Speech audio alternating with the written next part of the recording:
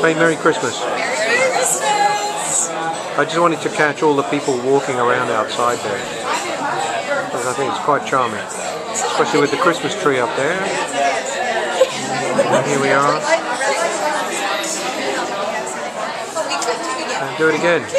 Cheers. Merry Christmas! This is Pemberton Valley roasted beet salad for Christmas ap uh, appetizer.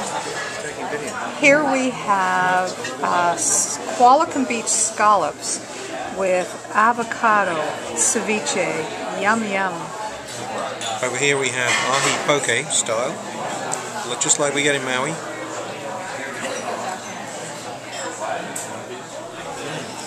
Mmm, Arctic, Arctic char. Yum, yum, yum. And I have fabulous BC elk tenderloin. How delicious is this? It is so tender. It is rich. It's just beautifully prepared. It's just spectacular. Merry Christmas. And